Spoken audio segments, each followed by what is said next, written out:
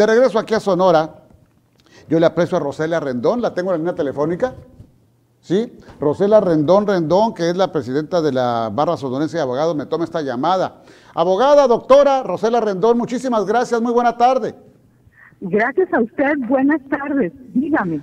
Bueno, en primer lugar, pues felicitarla porque pues tengo entendido que es la primera mujer al frente de la Barra Sonorense de Abogados. Así es. Así es la primera mujer en cuántos años de existencia de la barra? En 73 años.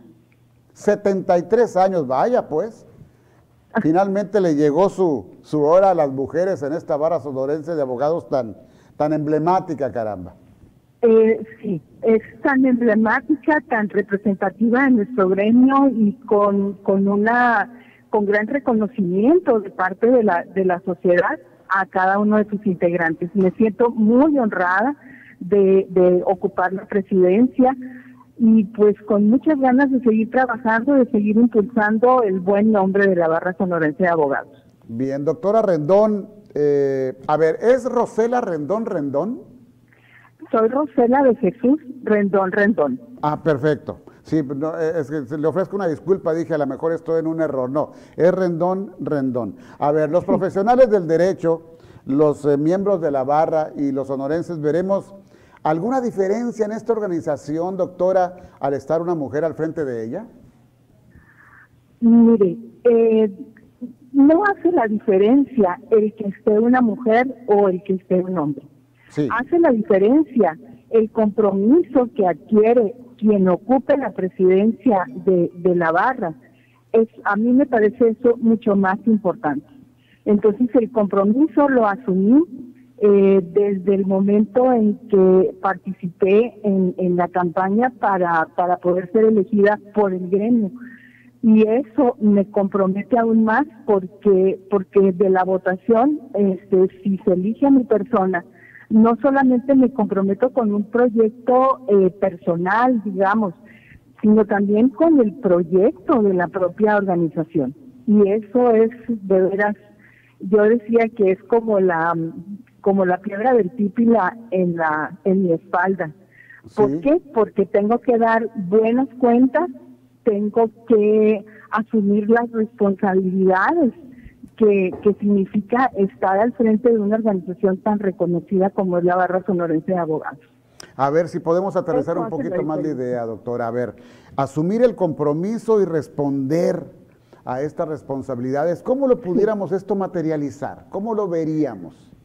Mire, eh, la barra, bueno, en nuestro plan de trabajo nosotros marcamos eh, tres líneas de trabajo.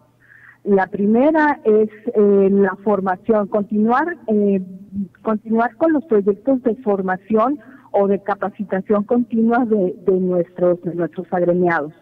Lo segundo es eh, ser coadyuvante en la mejora en la administración de en la administración y en la procuración de justicia en todos los procesos en los que en los cuales como abogados nos vemos involucrados ante estas instancias porque es parte de nuestra actividad profesional pero también es parte de nuestra actividad profesional en, mi caso por ejemplo el trabajar dentro de una institución de educación superior en la cual eh, nosotros vemos la, la trascendencia de la formación del abogado ante estos nuevos escenarios. También asumimos esa responsabilidad de ser colaboradores de las de los departamentos o de las escuelas de derecho de las instituciones de educación superior a lo largo del estado y podemos incidir de manera muy importante en ello ¿Por qué? Porque en el día a día eh, los profesionales, los abogados estamos eh, en el pulso de lo que es eh, los procedimientos judiciales. Entonces, es importante conectar la teoría y la dogmática con lo que está sucediendo en el exterior, con lo que sucede en los tribunales. Sí, aplicar ya la teoría a los hechos, caramba. ¿Cuándo asumió usted la presidencia de la barra, doctora? ¿Y cuándo, cuándo concluye? ¿Cuánto tiempo estará en este cargo? Yo asumí la presidencia el 15 de octubre de este año y dentro de dos años eh, sería el tiempo en el cual yo tengo que entregar la, la presidencia de la barra a otra a otro a otro consejo. Claro. ¿Se puede usted reelegir?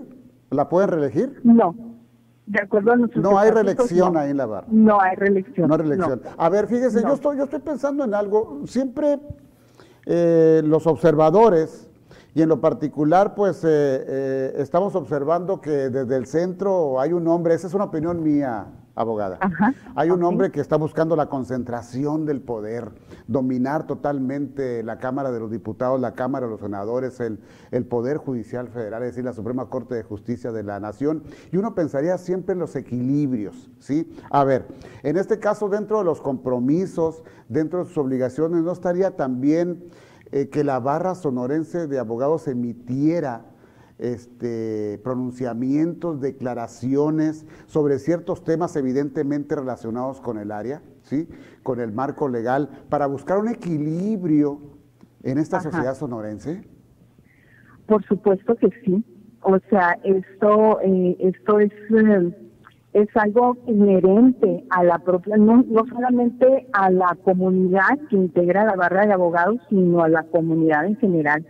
O sea, el hombre, eh, el hombre como la mujer somos eh, seres políticos por Ajá. naturaleza.